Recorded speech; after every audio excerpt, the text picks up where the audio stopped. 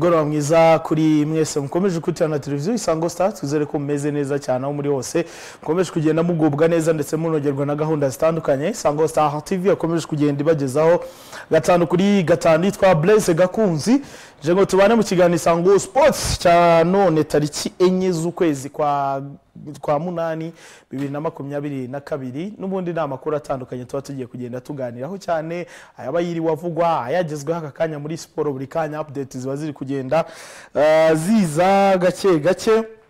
Ari na yo mpamvu turi buze kugenda n'ubundi tubiganiraho cyane ku buryo burambuye muri ayo makuru yose tuyava imuzi n'imuzingo uyu mugoroba isaha imwe dufite tugiye kuba tuyibyaza umusaruro neza kandi eh, abakunzi b'amakipe atandukanye muri siporo muri rusange yose turi bugende tubigarukaho cyane ku buryo burambuye cyane. Turaza guhera hano mu rwanda tunyure mu ikipe ya Rayon Sport.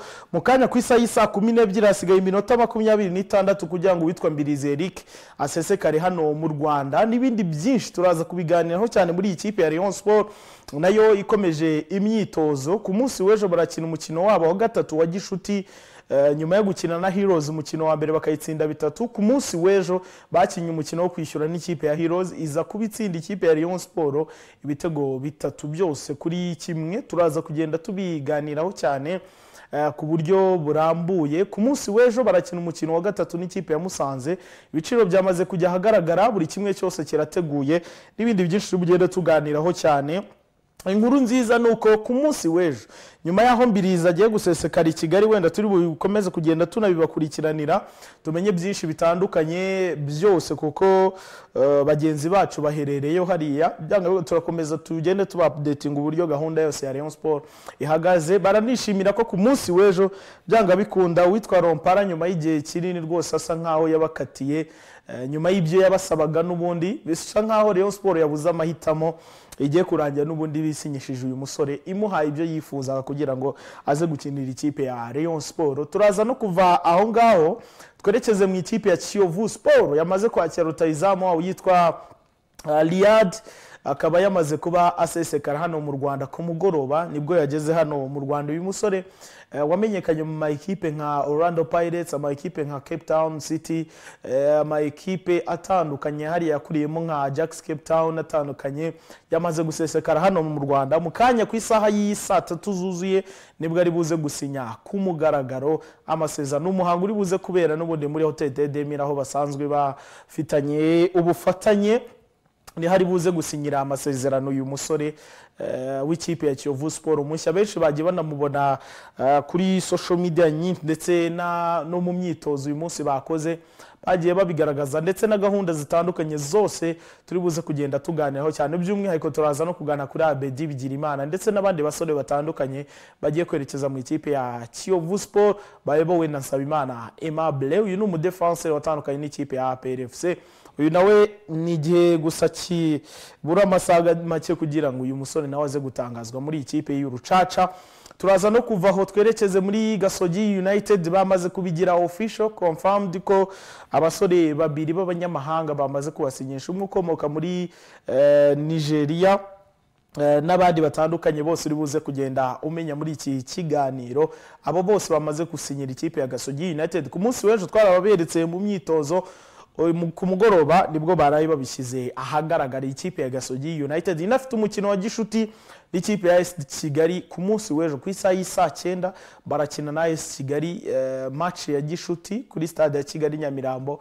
Urangire hajyamo match ya Rayon Sport ndetse n'ikipe ya Musanze Football Club. Ikipe ya Mukura yamaze gutumiza inama y'inteko rusange kugira ngo bige kuri byinshi bitandukanye. Uri buze kumva muri iki kiganiro by'umwihariko ibiri kugaragara muri iyi kipe eh, ya Mukura Victory Sport n'ibindi turi buze kugenda tuganiraho cyane muri iyi kipe.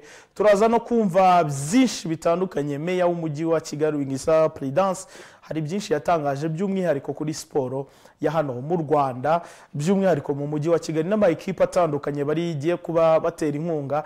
Yanashimangiye ko Gasogi United na yo binyuze mu karere ka Gasabo na yo igiye kujya igira ikibona ah, igira ikihabwa n'umujyi wa Kigali. N'ibindi turi buze kugenda tuganiraho cyane mu mupira w'amaguru. Ni nako turi buze kuvaho twerekeze no muri basketball. Kugeza ubu ngubu half time u rwanda mu mikino y'abatarengeje imyaka cumi n'umunani rikomeje kubera antananarivo ni muri madagascar. Rumaze kuba uh, rutsindwa n'ikipe y'igihugu ya mari wari umukino wabo wa mbere mu itsinda barimo bari kumwe na ngora mari ndetse na misiri. Bakaba bamaze kuba batsindwa Uh, umukino wabo wa mbere. Kugeza ubu ngubu match irakomeje. Eh, yatangiye ku isaha y'isaa kumi n'imwe za hariya. Antananarivo kaba saa kumi n'imwe n'igice za hano i kigali. Saa kumi n'igice za hano i kigali bakaba bamaze kuba u rwanda barutsinda. N'ibindi turi buze kugenda tuganiraho cyane turaza no kunyura mu mikino ya commonwealth game beach volley nyuma yo gusezerwa kimwe cya kabiri. Ese abasore baratangaza iki? N'ibindi byinshi uri buze kuba ukurikira. Hano muri iki kiganiro tuze no kujya no mu basiganwa ku maguru muri atletisme witwa serine. Ku munsi w'ejo ntabwo byagenze neza mu masiganwa dore ko yaje kuba abanziriza uwa nyuma na byo turabiganiraho cyane. Hanze y'u rwanda Uh, turaza kunyura muri igihugu cya tanzania. Rutayizamu w'umunyarwanda yitwa medi kagere nk'uko naraye mbibabwiye ko ari ikibazo kigiye gusa ndetse yari yasezeye bagenzi be. Tayari uyu musore medi kagere yamaze gutandukana n'ikipe ya simba sports club bamaze no kumushimira ku mugaragaro ati warakoze cyane medi kagere. Ni kimwe na tede ruwanga ndetse na chris bwalia abo bose bamaze kuba Uh, batandukana n'ikipe ya simba sport club. Medi kagere yahise yerekeza mu ikipe ya singida big stars. N'ubundi yahariya muri uh, n'ubundi yahariya mu gihugu cya tanzania imwe mu makipe akize cyane muri iyi minsi nyuma yo kubona abafatanyabikorwa batandukanye baguze iriya kipe yo mu mujyi wa singida ndetse n'andi makuru menshi turi buze kugenda tuganiraho cyane ko na simba ikomeje kwiyubaka. Umwe yamenyekanye muri ba bandi babiri bari bategerejwe yitwa nelson okwo akaba yamaze gusinyira iyi kipe ya simba sports club. Hanze y'u rwanda uh, turaza kunyura muri byinshi bitandukanye ariko by'umwihariko mu ikipe ya arsenal yamaze kurekura umusore wayo yitwa balwin uyu musore florien bakaba bamaze kumutiza mu ikipe ya rems mu gihugu cy'ubufaransa mu gihe chelsea yo diro yamaze kurangira ku musore uh, witwa chukwemeka kuri miliyoni makumyabiri avuye mu ikipe ya Aston Villa. Akaba yamaze gusinya amasezerano y'imyaka itanu mu ikipe ya chelsea. Uyu n'undi uje usanga abandi batandukanye. Premier league iraza kuba itangira ku munsi w'ejo ku isaha saa tatu. Patrice vieira n'ikipe ya crystal palace bakira ikipe ya arsenal. Eh, match ifungura premier league ku mugaragaro. N'ibindi turi bugende tuganiraho cyane by'umwihariko muri iki kiganiro ikipe ya napoli yashyize hanze itangaje ibintu byababaje abanyafurika benshi cyane yavuze ko nta mukinnyi w'umunyafurika izongera gusinyisha uh, kereka uwemera ko atazigera yongera gukina igikombe cya afurika. Benshi bagiye babyibazaho bibaza impamvu iyi kipe ya napoli ifashe iki cyemezo nyamara mu by'ukuri batabuza abakinnyi b'abanyaburayi kujya gukina ero. Ku kibo bababuza uburenganzira bwabo bwo kuba batajya gukina. Igikombe cya afurika bakinira ibihugu byabo byababyaye. Ngibyo rero n'ibindi byinshi mu kanya gato nimujye kure duhite tuza duhita dukomeza. Mbibutsa iki kiganiro kiba kiri live kuri youtube. Channel y'isango star urajyaho rwose urahita utubona. Ukomeze kudukurikira neza cyane kuri social platform zose muri kugenda mubona aho ngaho kuri screen. Ni nawe ushobora gutanga ibitekerezo byawe tukagenda tubana. Kandi subscribe duhe comment ndetse una sharing byose bikorwe kugira ngo dukomeze kugenda tubana neza cyane. Mu kanya gato nyuma yo kwamamariza abadutumye duhita tugaruka dukomeza.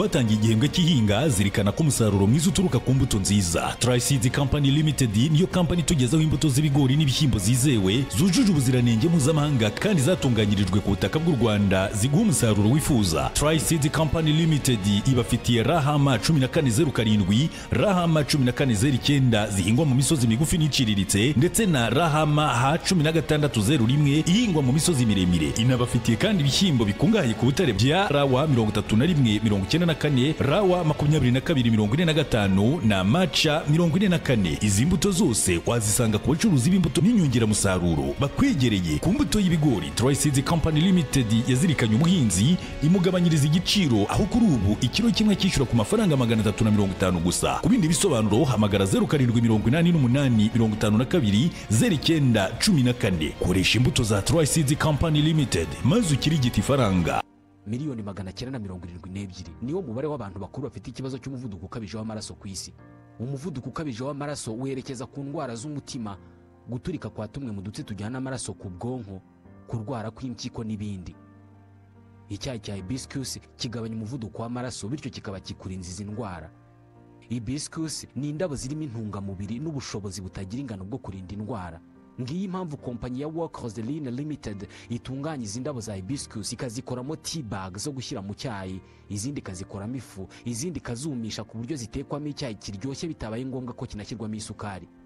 Kigurishwa amafaranga make cyane muri simba supermarket zose muri lagalete muri teduemil n'ahandi. Izi ndabo za hibiscus zumishijwe zinakorwamo umutobe ufite intungamubiri nyinshi n'ubushobozi bwo kurinda indwara. Kompanyi ya work roseline ifite abakozi basobanukiwe cyane iby'imirire batunganya izi ndabo zigakorwamo iki cyayi mu buryo bwujuje ubuziranenge. Ukeneye kugura iki cyayi cyaba igipfunyitse nka tibag ikifu cyangwa se izi ndabo zumishijwe? Hamagara zeru karindwi mirongo inani na kane makumyabiri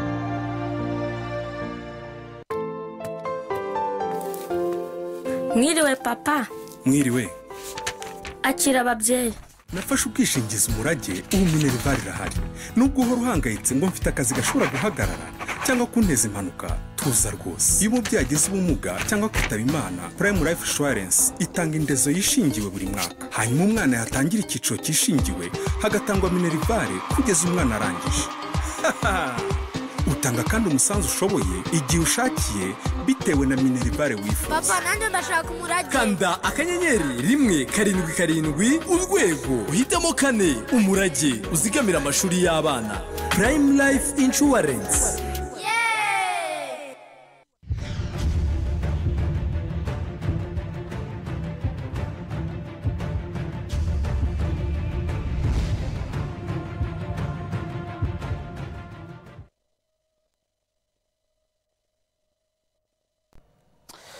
reka tugaruke dukomeza n'ikiganiro cyacu ku buryo burambuye. Reka twihute cyane eh, duhere mu makuru atandukanye ari kugenda avugwa ah, by'umwihariko hano mu rwanda akaba ariho tugiye kuba twibanda n'ubundi eh, akaba ariho tugiye guhita duhera twihuta cyane eh, twigire mu ikipe ya Rayon Sport. Akaba ari ikipe ikomeye cyane hano mu Rwanda ikipe y'ibigwi ikipe eh, ifite byinshi imaze kugeza ku bakunzi bayo by'umwihariko.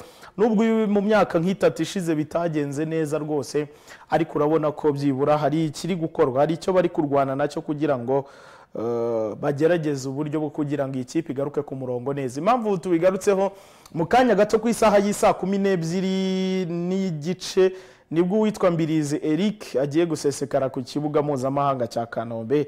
Cy'indege aho aturutse mu gihugu cy'u Burundi ngira ngo eh, amafoto menshi mwagiye muyabona ubwo yarahagurutse i burundi rwose agiye kuza hano mu rwanda. Haje mu ikipe n'ubundi ya Rayon Sport yamaze gusinyira imyaka igera kuri ibiri eh, yose nk'umukinnyi mushya w'ikipe ya Rayon Sport uyu musore ukina hagati mu kibuga wahoze ari wahoze akina mu ikipe ya ya Aigle Noir yahariya mu gihugu cy'u Burundi akaba uyu musore nawe yamaze gusesekara hano uh, mu Rwanda mu kanya gato ni bwo agiye guhita hasesekara saa kumi n'ebyiri n'iminota uh, mirongo itatu ni bwo agiye guhita asesekara hano mu Rwanda. Ni ikipe ya Rayon Sport ikomeje imyitozo nk'uko mubibona aho ngaho. Aho akaba ariho bari gukora imyitozo hariya ku ruyenzi ikibuga gishya akaba ariho bari kugera bakora imyitozo umunsi ku wundi bitegura imikino itandukanye ya shampiyona ndetse n'imikino ya gishuti itandukanye eh, itegerejwe.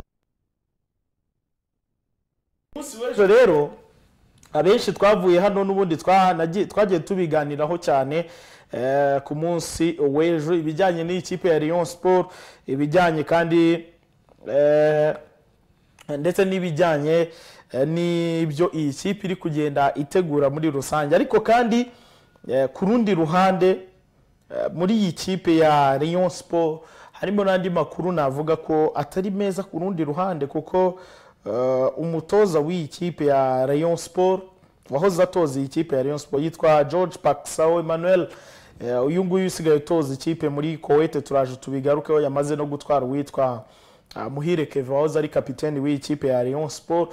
Kugeza ubu amakuru yize wahari kuko ni eh, ni ibintu byagiye bivugwa ku munsi w'ejo twanabigarutseho. Ndavuga ati uko byagenda kose ndaza kubikurikira kuko hari umu- umutoza wari wungirije eh, nabimubaje ko turavugana.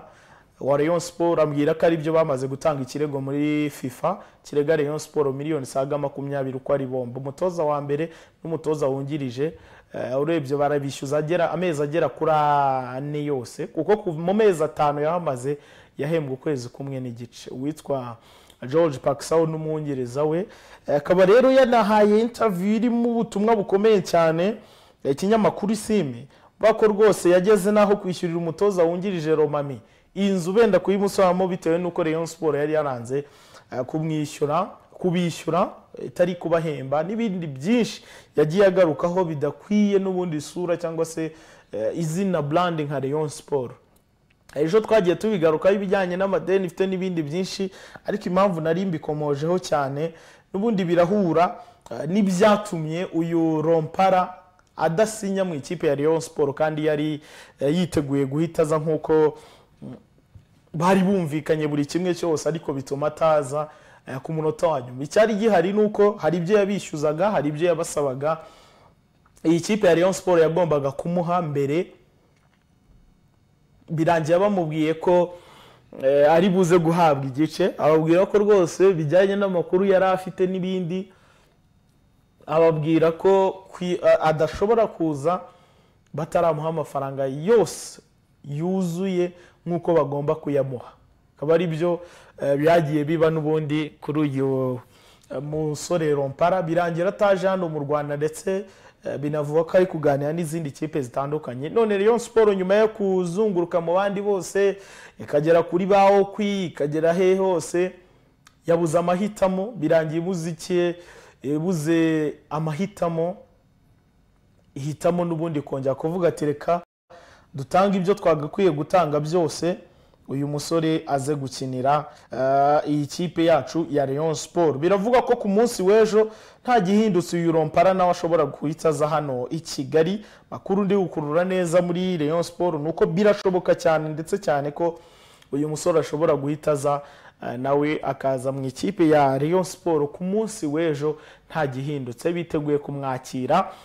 Eh, Mbirizi we nabibabwiye ko kugeza ubu ngubu izi saha hasigaye iminota igera kuri ku munani kugira ngo abasesekaye hariya kuri ku kibuga mpuzamahanga cya Kigali eh, cy'indege akaba ariho agiye guhita atunga mu kanya gato. Turagenda tubikurikirana ko bagenzi bacu bariyo byaga bikunda n'ejo. Hari ibyo ubutumwa butandukanye yatanze akihagera byose muzabikurikirana kuri televiziyo isango star. Eh, tuzagenda tubigarukaho cyane by'umwihariko. Ariko eh, mu yandi makuru muri iyi kipe ya Rayon Sport ku munsi w'ejo eh, bakinye match ya gishuti ya kabiri yo kwishyura eh, bakina n'ikipe ya Heroes yo mu cyiciro cya kabiri. Ariko iyi kipe ya Heroes match ibanza Rayon Sport yari yayitsinze ibitego bitatu.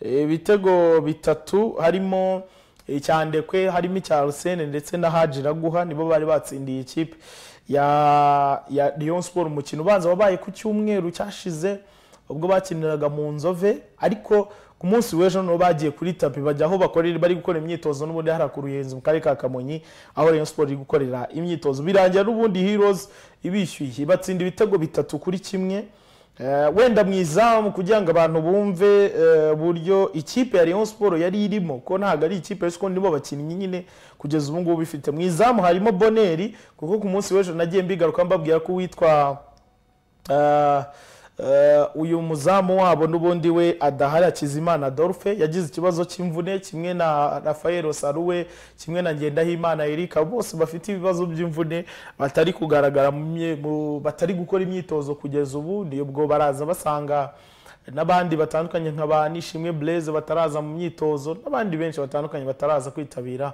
eh, iyi kipe ya Rayon Sport.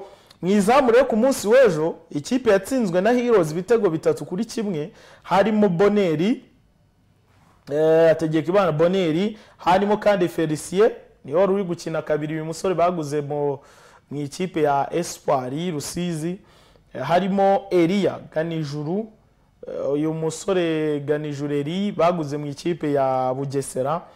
Hari imitima y'izaka na Samuel Ndize mu mutima wa defense.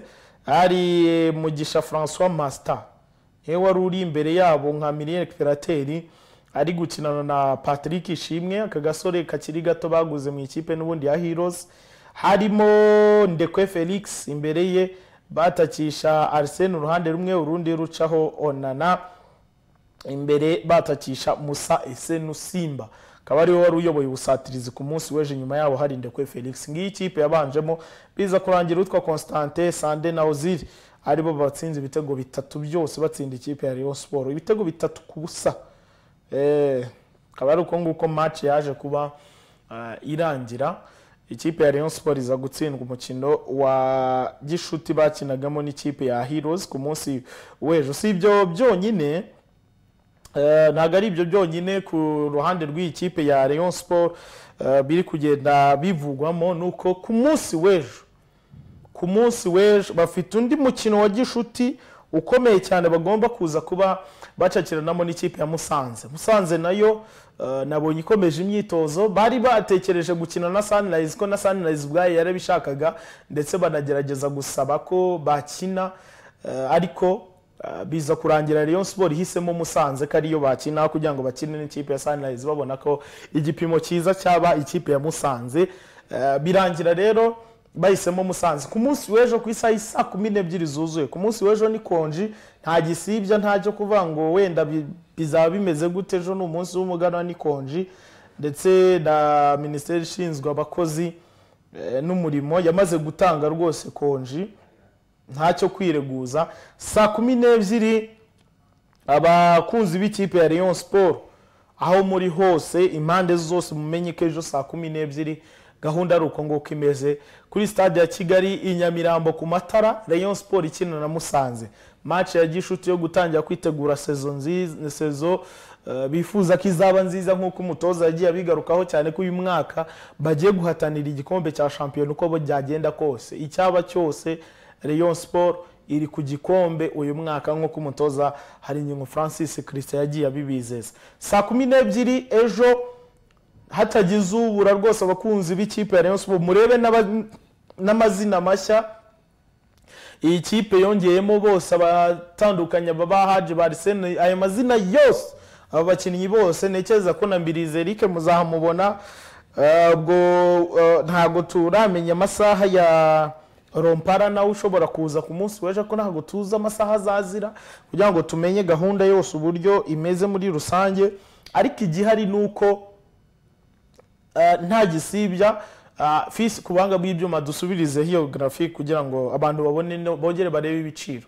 Gahunda uburyo imeze. Ubwo ni ibihumbi bibiri ahasigaye hose ni ibihumbi bitanu ahatwikiriye n'ibihumbi icumi muri vip ubwo ejo saa kumi n'ebyiri niyo gahunda niko gahunda muri Rayon Sport zihagaze. Eh, nta gisibya mugomba kuba eh, mwahageze muri benshi cyane kugira ngo muze murebe ikipe yanyu muri rusange.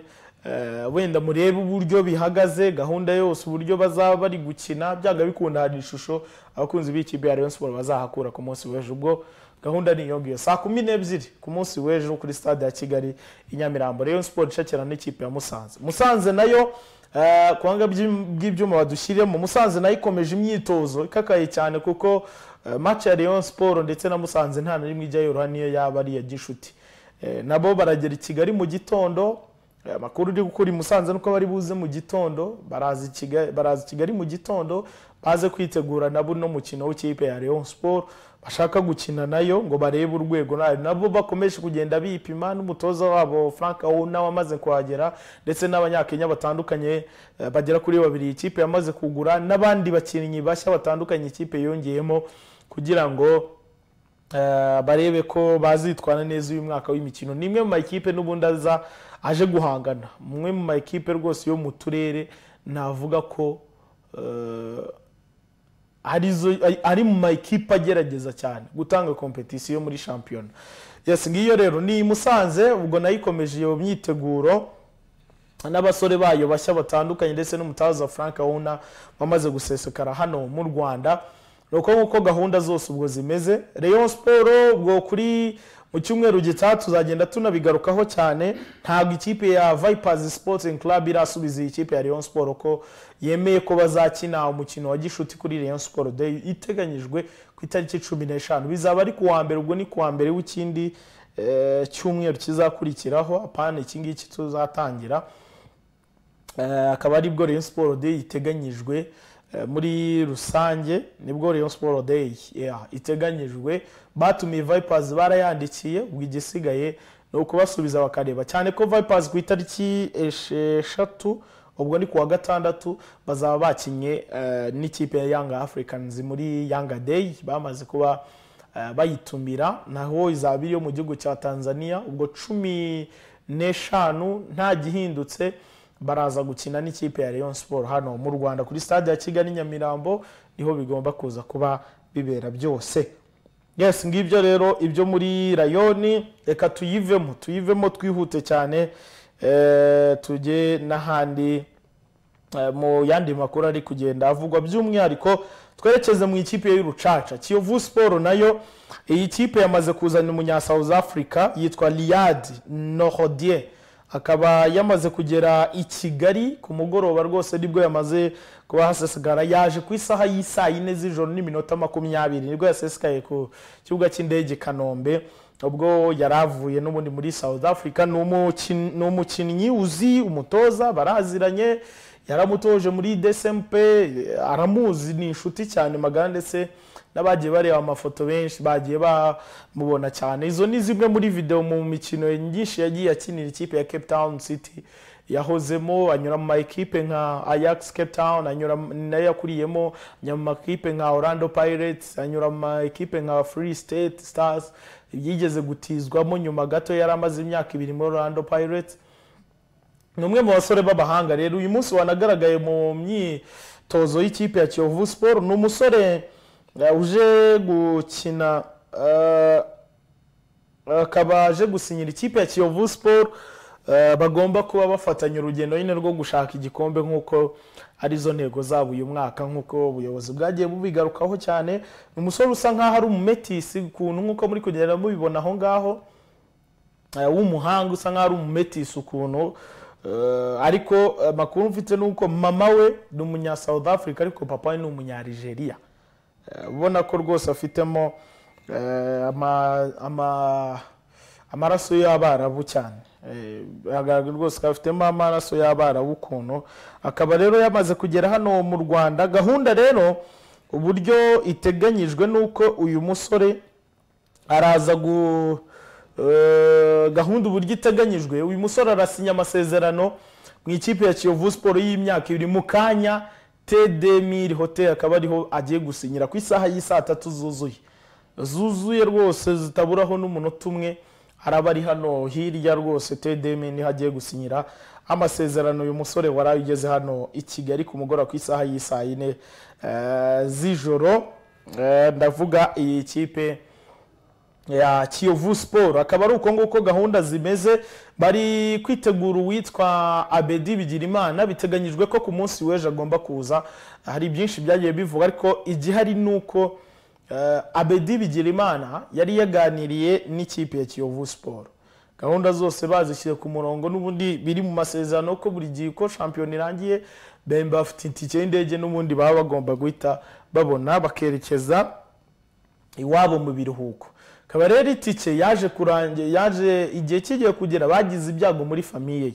Birangira uyu musore abedi bigirimana agumye mu gihugu cy'u Burundi itike y'indege iba expired? Bikaba icyatumye n'ubundi atazira rimwe ko yari yasabye n'uruhushya eh, ruzamugeza ku itariki eshanu. Akaba rero uyu musore yaramaze kuba ah, nyuma yo guhabwa uruhushya ku itariki eshanu ubwo ni ku munsi w'ejo ni bwo agomba kuza. Ndetse amakuru ahari ni uko bamaze mm, yes amakuru ahari ni uko bamaze kumwoherereza itike. Ku munsi w'ejo nta gisibya. Uyu musore nawe araza kuba agaruka hano mu rwanda aze kwitabira imyitozo na bagenzi be mu ikipe ya kiyovu siporo witwa muzamiru mutiyaba nawe yaraye ahageze yakoze ndetse n'imyitozo kuri uyu munsi na bagenzi be. Kimwe n'uyu musore mushya uh, nordier uh, riyad uyu nawe wakoze imyitozo kuri uyu munsi. Byose biri ku murongo urebye nta kibazo na kimwe gihari muri rusange. Reka tuve aho ngaho twerekeze no mu yandi makuru atandukanye ari kugenda avugwa hano mu rwanda. Tuvuye mu ikipe ya kiyovu sport twerekeze muri gasogi united. Eh, gasogi united ku munsi w'ejo. Yagize gutya ibinyujije ku rukuta rwabo rwa twitter iha ikaze abakinnyi batandukanye eh, n'ubundi navuga ko Eh, bashya twari twababeretse mu myitozo ku munsi w'ejo ko bari bakoze imyitozo dore ngabo n'ubundi gasogi united rero yamaze kuba ibaha ikaze eh, ikaba yamaze kubishyira ahagaragara rwose ko abo basore yamaze kuba ibasinyisha. Uyu umwe yitwa elundu ngono ferdinand gi elve. Akaba avuye muri union de douala yahariye mu gihugu cya Cameroon. Akaba ariho uyu musore yaturutse eh, mu gihugu cya Cameroon. Akaba ariho yakinaga. Hakaza n'undi musore witwa Gabriel. We akaba aturutse mu gihugu cya Nigeria. Uyu nawe bamaze kumuha ikaze ni striker ni umwataka yitwa Nanbul Gabriel Namin. Akaba yakinaga mu ikipe ya eh, yo mu gihugu cya nigeria. Tayari rero akaba ari striker nawe yamaze kuza muri ino ekipe ya gasogi united. Ubwo aje asanga n'abo bandi bose useni eto eh, n'abandi batandukanye barimo ba makenzi nizigiyimana bose nabo bamaze kuba bagera hariya eh, muri iyi kipe ya gasogi united. Tukiri muri gasogi united mbere y'uko tuyigarukaho cyane n'ibindi byimbitse kuko eh, na yo iri mu ma ekipe agiye kujya ahabwa amafaranga n'ikipe y'umujyi n'umujyi wa kigali sorry. Akaba na yo igiye kuwiyongera kuri kiyovu na esi kigali ndetse n'indi mikino y'intoki itandukanye irimo za kavese zigiye kongera kugaruka ndetse na espoir basketball club zose zigiye guhabwa amafaranga zigakomeza gufashwa n'umujyi wa kigali. Akaba ari meya w'umujyi wa kigali rubingisa prudence akaba yarabitangaje ku munsi w'ejo mu kiganiro n'itangazamakuru yagarutseho gato kuri siporo mu mujyi wa kigali. By'umwihariko anakomoza ku ma ekipa atandukanye batera inkunga harimo as kigali y'abari n'abategarugori na as kigali ya eh, y'umupira w'amaguru mu bagabo harimo kiyovu siporo gasogi united na yo yiyongereyemo eh, binyuze mu karere ka gasabo. Reka tumwumve twumve byinshi bitandukanye yagiye atangaza ku munsi w'ejo tugaruke tugira icyo tubivugaho tunasuhuza kuri gasogi united. Eh, wavuze kuri AS Kigali muri siporo na gahunda zacu koko ni uguteza imbere siporo ariko eh, nagira ngo umenyeshe ko mu mujyi dufitanye eh, amasezerano na AS Kigali na Kiyovu Sport na Gasogi. Ariko noneho na AS Kigali abakobwa dufite dufite noneho na- n'amasezerano ubu tugiye gufatanya ni ni- ni- n'imikino y'intoki. Kavese volleyball club ndetse na basket ya ya espoir. Uko rero amikoro dushoboza tuzakomeza kwagura ibikorwa bya siporo cyane cyane ko mwabibonye ko tumaze iminsi muri campaign mu biruhuko tuzana n'abana bari mu biruhuko kugira ngo ya talent detection ihere hariya turakorana n'ibigo by'amashuri kugira ngo mu gihe bari mu biruhuko ibibuga bibe bifunguye abana babigireho access dufite natwe na gahunda kandi yo kureba uburyo twazubaka n'ibindi dufatanyije n'abandi bafatanyabikorwa. Siporo rero eh, ni twese eh, tuyishyiramo imbaraga kandi umujyi natwe tuyifite muri gahunda.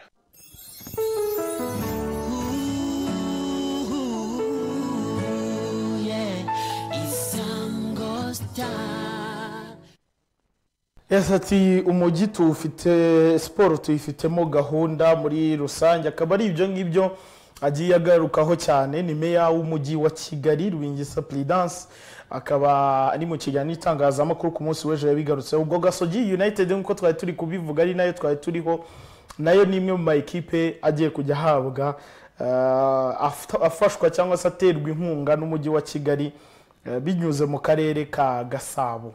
Binyuze mu karere ka gasabo. Usibye ko n'umwaka ushize hari amafaranga amwe n'amwe gasogi united eh, bari bahawe. Hari amafaranga make bari bahawe n'akarere ka gasabo.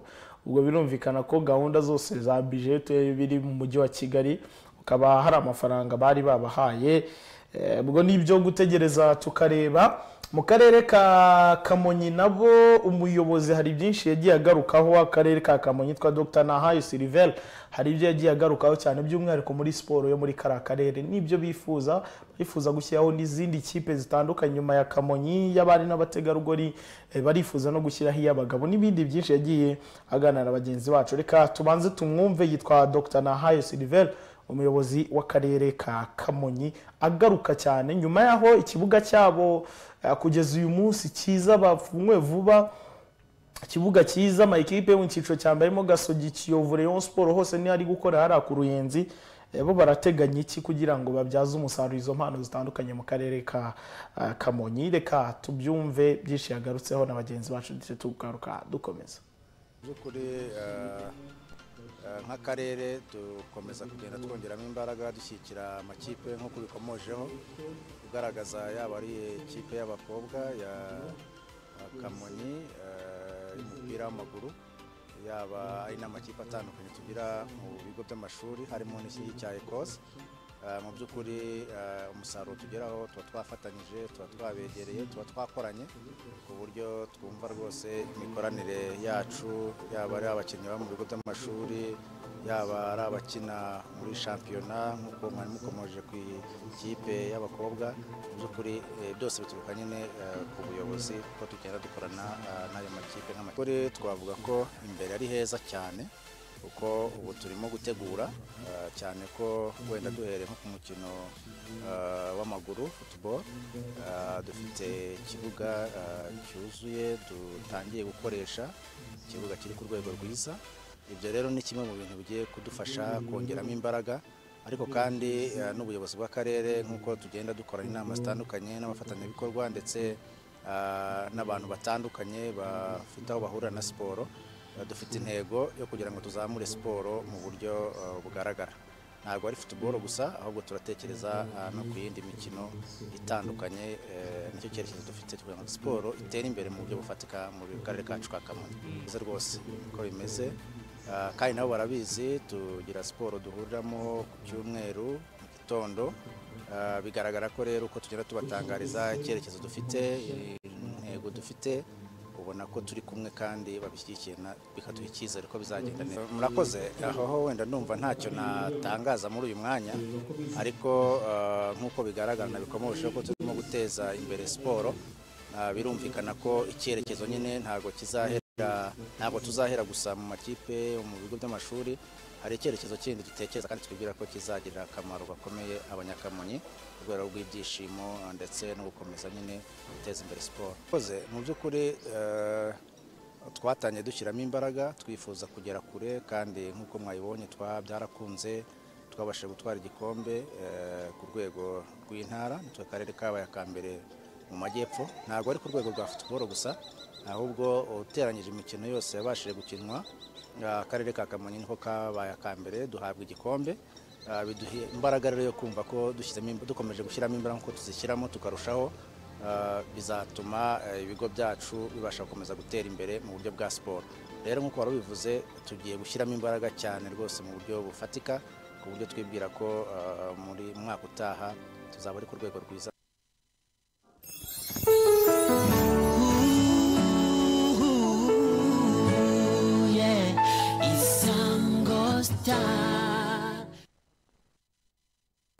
Ngibyo rero ibyo agiye agarukaho cyane umuyobozi w'akarere ka kamonyi.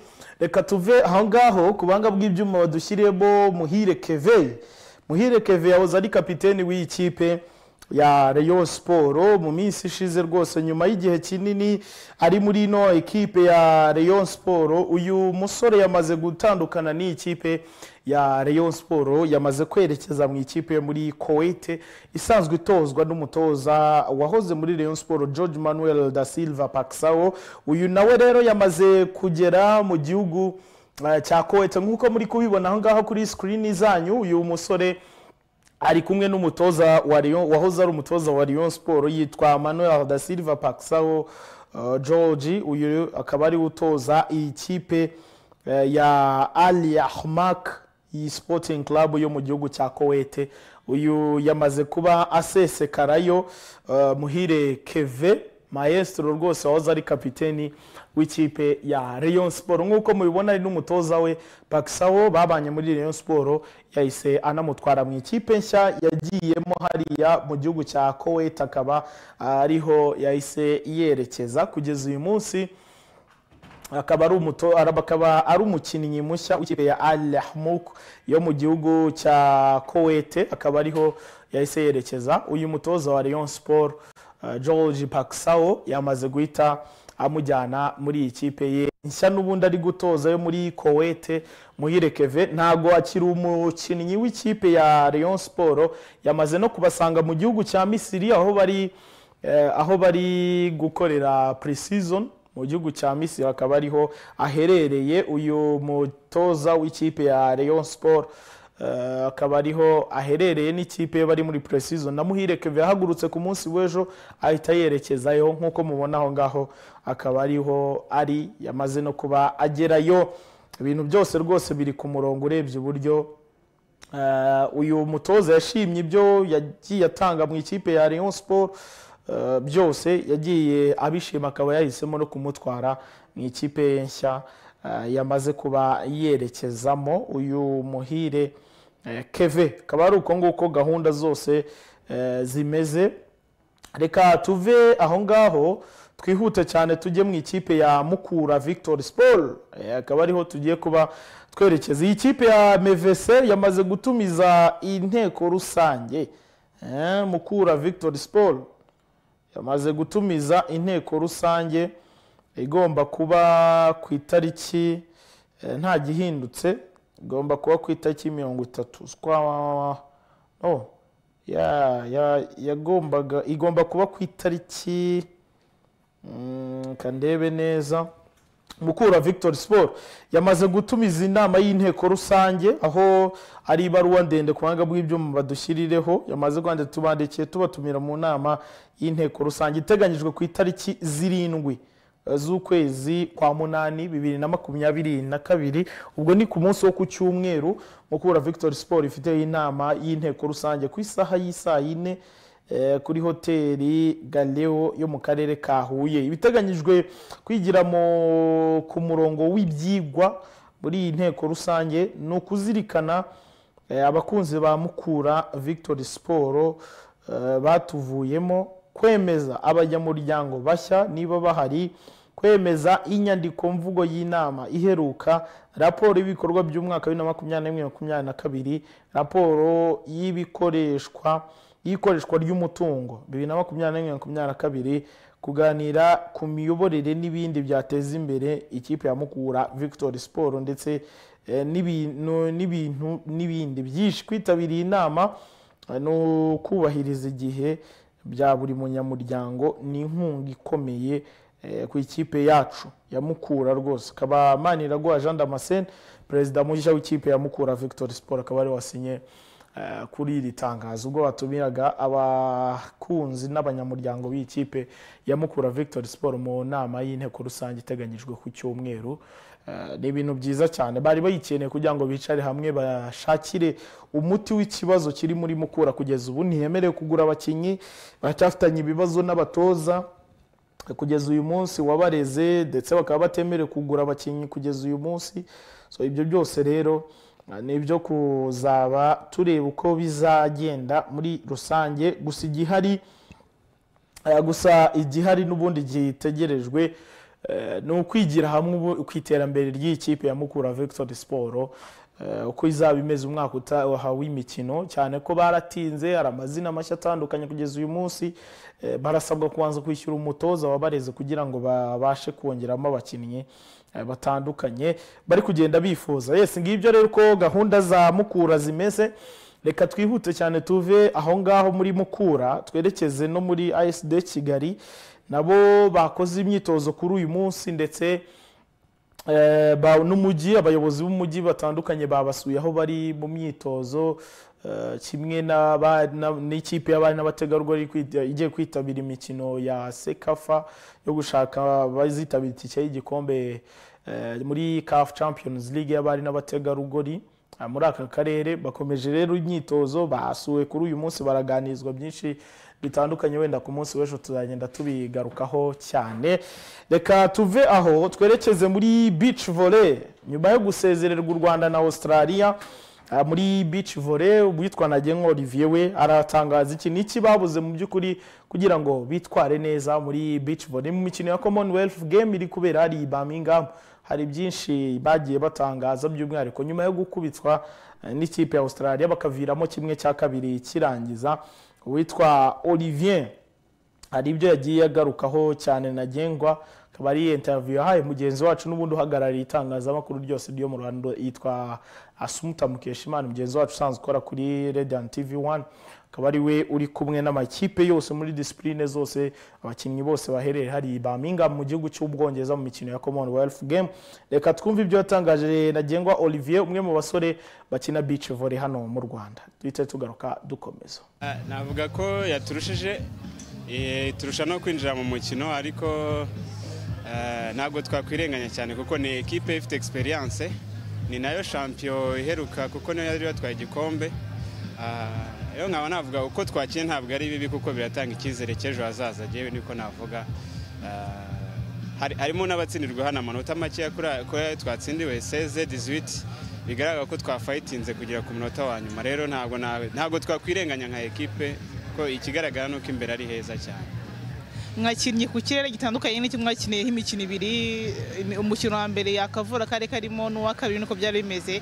Uyu munsi hari hari izuba ryinshi byo nta kintu byagabanyijeho ku musaruro wanyu? Ya ya ni, challenge kuri twebwe kubera ko buri munsi umuntu atangira kuri, ku kirere gihari mu kanya kikaba kirahindutse. No munsi hari hari izuba byasabaga no, kuba umuntu yakinisha amarinete ariko kuko twebwe tutari tunayamenyereye cyane Ah, hari igihe uba wanga kwishinja ibintu byinshi. Akaba anahari ariko ukavuga uti reka nawe kwishinja byinshi. Ahubwo reka nkore muri za kondisiyo nari nsanzwe menyereyemo kugira ngo ndebe ko natsinda. Nibyo twakoze kugira ngo turebe ko twatanga imbaraga zacu zose tuza- tuzamuke turi aba mbere. Ariko finally biranze. Ah, ni experience ni experience nziza dukinnye n'ikipe nziza. Isanzwe yitabira amarushanwa mpuzamahanga. Urebye kompetisiyo bafite n'izo dufite ziratandukanye. Twe n'ubwa mbere dukinanye bo bakinanye igihe kinini. Ntabwo ntabwo dukiniye nabi igihe niko navuga. Ahubwo tugiye gufokasinga ku biri imbere kuko ndakeka ko muri kimwe cya kane dushobora gu- guhura n'ikipe zizaba zikarifiye ariko ndakeka zitazaba zi- zifite imbaraga nk'uko Australia izaba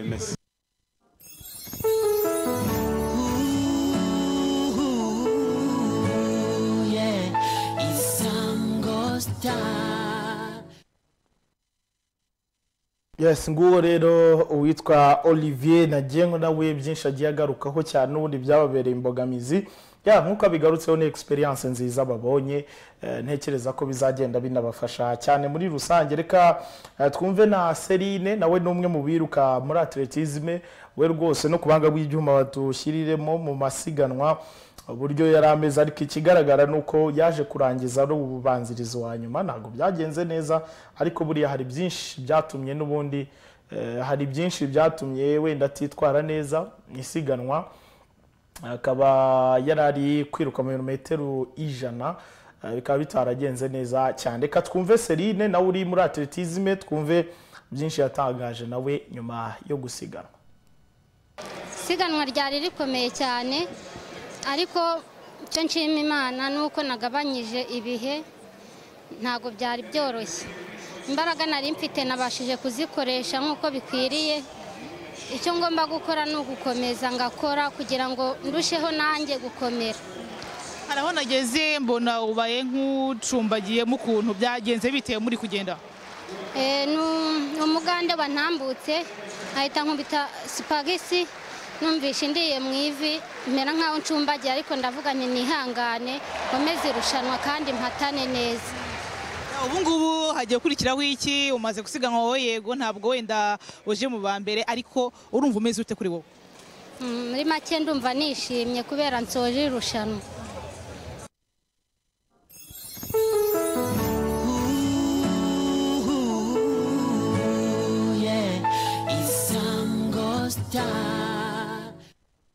Yesi nguwo rero serine ntago byagenze neza eh, nk'uko nawe agiye abigarukaho cyane eh, ati byaranze byaranze eh, nagerageje nyine yakoze ibyo ashoboye nawe twa- ntago twajya ngo tumuve ibyo yari ashoboye ni byo yabashije gukora ubwo hari mu masiganwa n'ubundi nko muri kumubona aho ngaho yasoje ari uwa nyuma rwose. Yaje gusoza nyuma nk'uko mubibona umugande yavugaga wamukozeho gato akaba ari we waje no guhita amusiga aza imbere ye. Eh, birangira we asoje ku mwanya wa nyuma ntabwo byagenze neza. Akaba ari uko nguko bimeze reka twihute cyane tujye eh, no mu yandi makuru atandukanye ari kugenda avugwa muri basketball ikipe y'igihugu y'u rwanda match yabo ya mbere bari mu itsinda b bari kumwe n'ikipe ya angola bari kumwe na misiri bari kumwe ndetse na mari Eh, bakaba match ya mbere yabaye ku isaha y'isaa kumi n'igice za hano i kigali zikaba saa kumi n'imwe za hariya antananarivo muri madagascar. U rwanda ruje kuba eh, u rwanda ruje gutsindwa. Mace ya mbere yabo bakinaga n'ikipe ya mari eh, baje kuba batsindwa.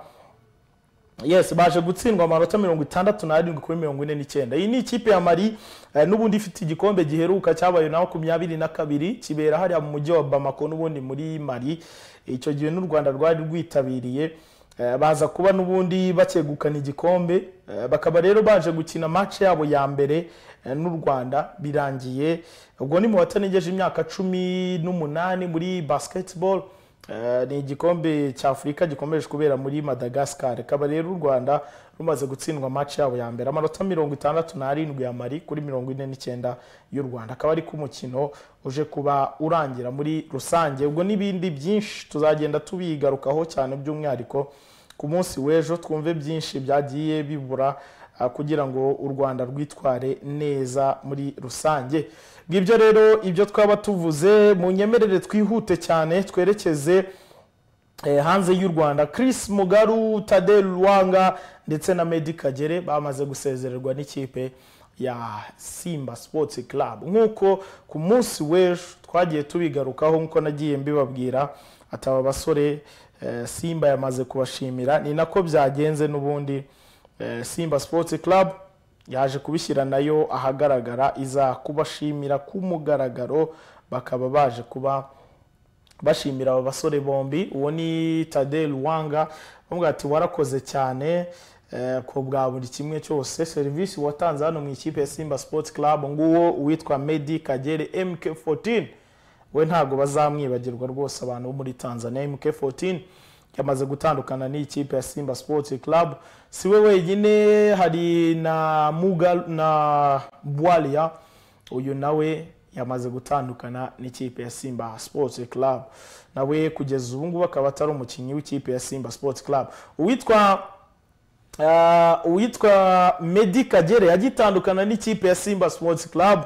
Tayari yahise yerekeza mu ikipe ya singida big, big star. Akaba ari singida united yabonye abaterankunga bashya bahita uh, banayihindurira izina uh, singida united ubu gisigaye singida big stars.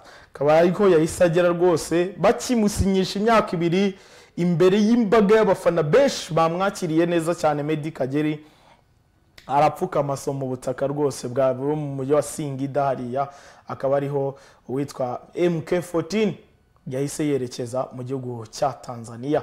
Eh, n'ibindi byinshi ubwo tuzajya tubiganiraho cyane.